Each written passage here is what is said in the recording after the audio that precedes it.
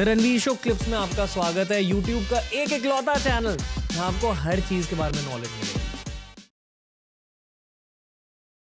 2024 के अकॉर्डिंग और 2020 30 तक हम्म। के कुछ हाईली पेड जॉब्स के बारे में थोड़ा सा बात करते हैं।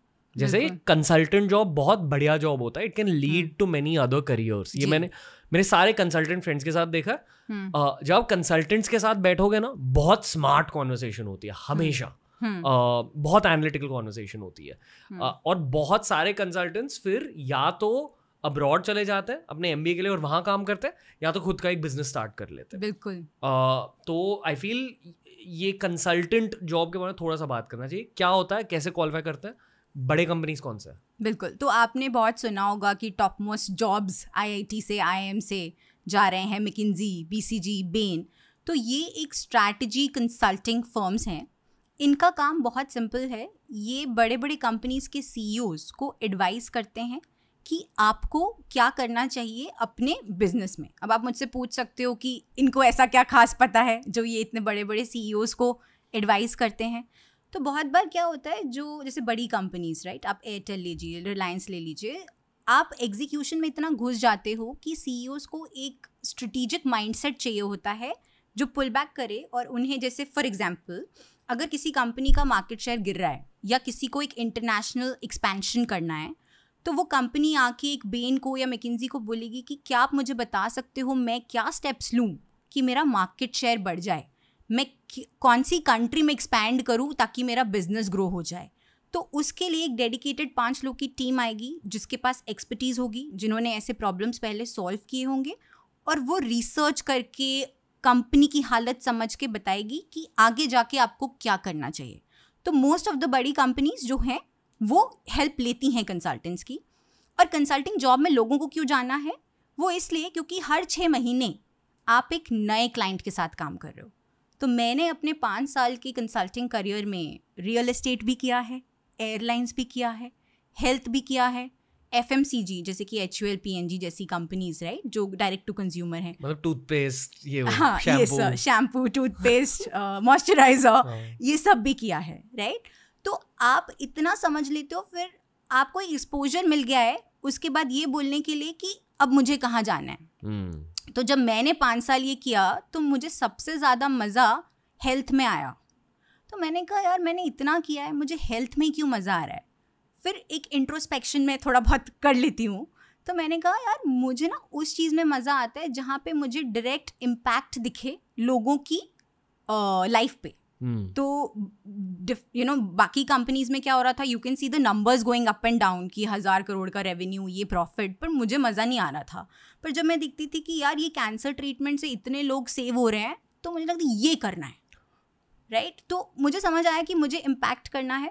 And then you know I said okay कौन कौन सी जॉब्स हैं जहाँ इम्पैक्टफुल हैं? एंड हम आएँगे कि एजुकेशन क्या है?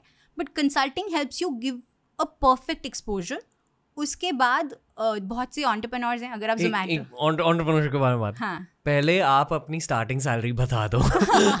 कंसल्टिंग की स्टार्टिंग सैलरी कितनी थी? देखिए उस जमाने में तो दस साल हो गए तो तब तेरह लाख होती थी स्टार्टिंग सैलरी आईआईटी से। पर मंथ But- 1.1 हाँ बट आज की डेट में अगर एक कंसल्टिंग कंपनी आईआईटी जा रही है तो वो बीस लाख के आसपास देगी जो कि टॉप मोस्ट है अंडर से आज की डेट में। और ये टॉप जॉब होता है? ये टॉप जॉब होता है। आई से अगर जाएँगे तो शायद पच्चीस तीस के आसपास होगा ये नंबर पच्चीस तीस लाख। तो जो पचास लाख के पैकेजेस होते हैं वो आई थिंक कोडिंग के लिए होते हैं if I am not mistaken हाँ मोस्टली कोडिंग के लिए होते हैं और जो एक करोड़ के पैकेज होते हैं वो यूएस में होते हैं। यानी कि आपको वहाँ ट्रांसपोर्ट कर देंगे वहाँ यूएस में आपको एक लाइफ देंगे and you will be working for a big tech company usually हाँ यूजली अमेजोन गूगल ये सब बट आपको ये जानना है कि वहाँ का एक करोड़ को आप वन थर्ड कर दीजिए बिकॉज़ पावर पैरिटी होगा। यानी कि खर्चे ज़्यादा है खर्चे ज़्यादा हैं तो सेविंग तो वहाँ का एक करोड़ यहाँ का कुछ अम, एक पच्चीस तीस लाख के आसपास आप मान लीजिए। मेरे साथ कुछ आईआईटी ग्रेड्स काम करते हैं। मेरे को founder Ayush Anand IIT grad है। जब आप आईआईटी ग्रेड्स के साथ काम करते हो ना no matter how hard working you are like मुझे लगता है कि मैं बहुत ज़्यादा घिसाई करता हूँ लाइफ में हम्म। की है लाइफ में बट जब उसकी घिसाई देखता हूँ हम्म। मुझे असली घिसाई के बारे में पता चलता है। ये मैंने हर एक आईआईटी ग्रैड में देखा है। अ, क्योंकि जेई क्रैक करने के लिए बहुत मेहनत लगती है। और इलेवन ट्वेल्थ में जिस तरह से आईआईटी के लिए लोग मेहनत करते हैं ना I have not seen other people working that hard in any other industry and उसके बाद भी अगर आप देखेंगे तो आईआईटी आपको जो इकोसिस्टम दे रहा है घिसाई खत्म नहीं हो जाती। Hmm. आप मेरी अगर डेली लाइफ देखोगे आईआईटी वाले दिनों में आठ बजे हमारी क्लास शुरू होती थी। दो एक से दो लंच ब्रेक दो से पाँच मेरा लैब वर्क तो पाँच बजे के बाद फिर से मेरी घिसाई शुरू होती थी। पाँच से छः मेरा ब्रेक छः बजे छः बजे मेरा डांस कंपटीशन का प्रिपरेशन शुरू है ड्रामेटिक शुरू है। कल मेरी दो असाइनमेंट ड्यू हैं तो मुझे रात के बारह से दो वो करनी है। तो आप लगातार चार साल वो लाइफ जी रहे हो। आठ बजे से लेके दो बजे तक जब आपका रात के दो बजे तक जब आपका स्केड्यूल इतना पैक्ड है कि आपको उस मेहनत की आदत हो जाती है। Hmm. और जब मैं किसी कॉलेज जा रही हूँ हायर करने तो मैं चाहती हूँ कि मुझे एक ऐसा स्टूडेंट मिले जिसको मेहनत की आदत है। तभी तो मेरी कंपनी चलेगी। Hmm.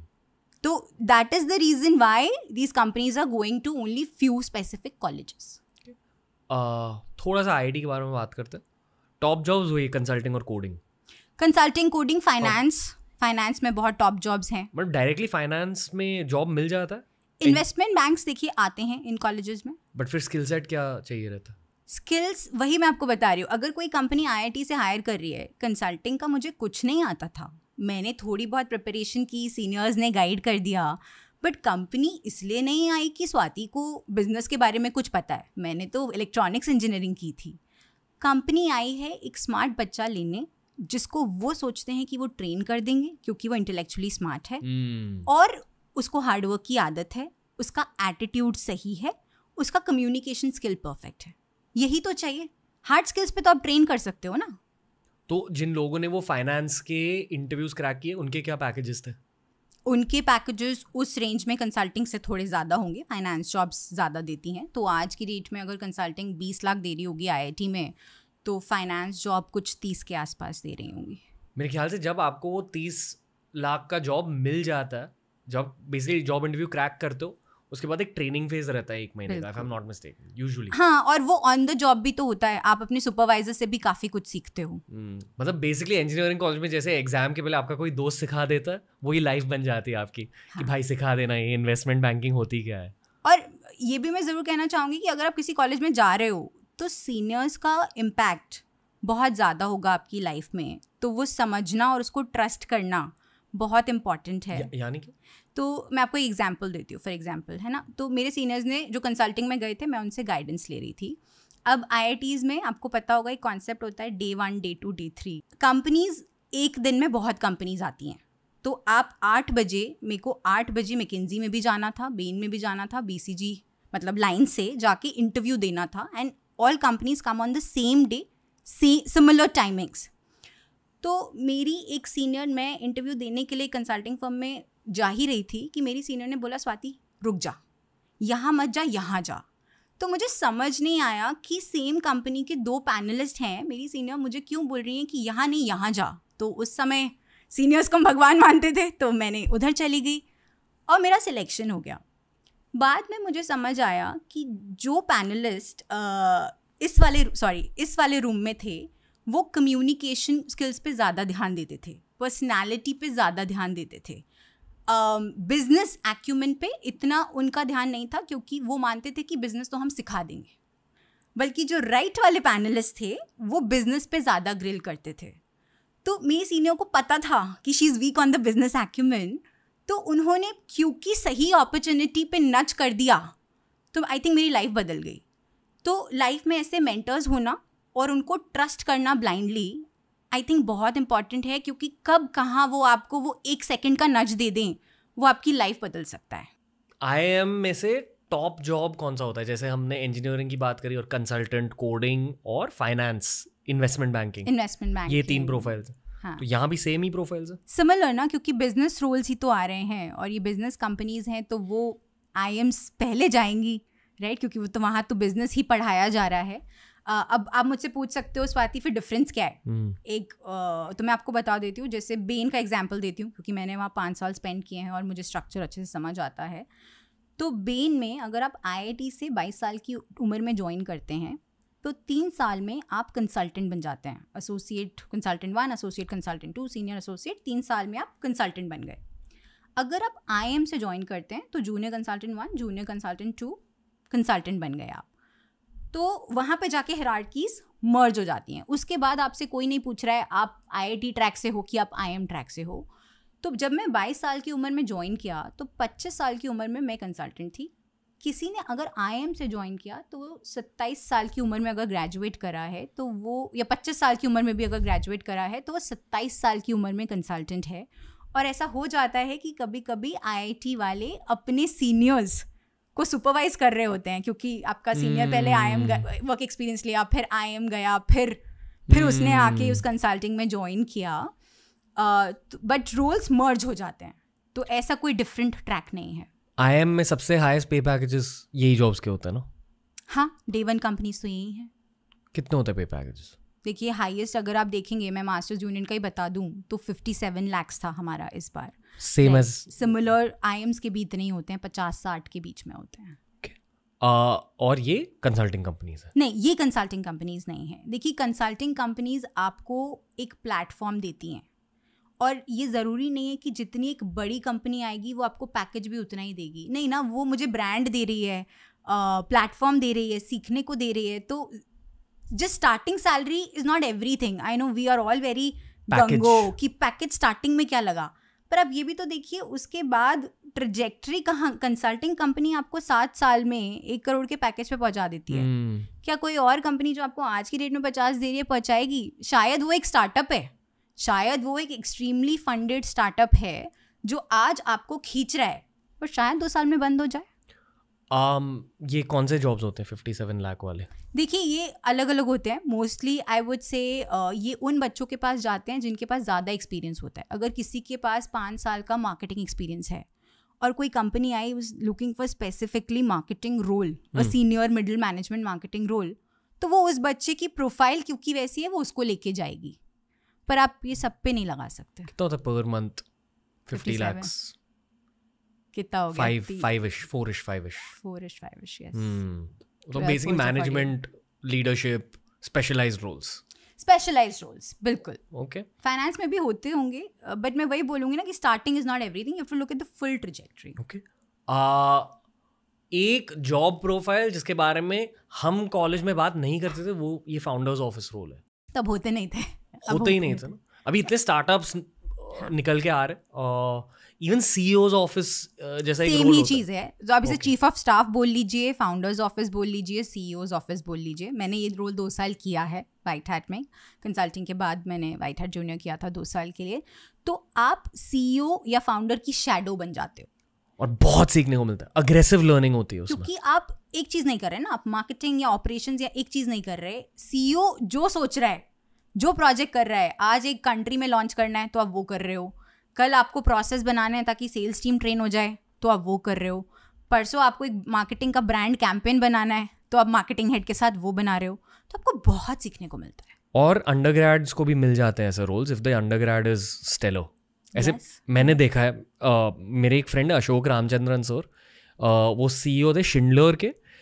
हर साल अपने uh, ये फाउंडर्स ऑफ़िस रोल को बदलते थे। He would get a guy groom him and then send him to a department यही उस रोल का ऑब्जेक्टिव ही यही है कि आप आए आप ग्रूम हो आप कंपनी को समझें और फिर एक डिपार्टमेंट को आप लीड करें। तो इस रोल की जो ड्यूरेशन है वो एक साल से दो साल तक की होती है। hmm. उसके बाद आपको रिडंडेंट फील होगा क्योंकि hmm. आपने सीख लिया। hmm. अब आप चाहते हैं कि अब आप खुद का एक डिपार्टमेंट रन करें और आप उतने ग्रूम हो जाते हैं।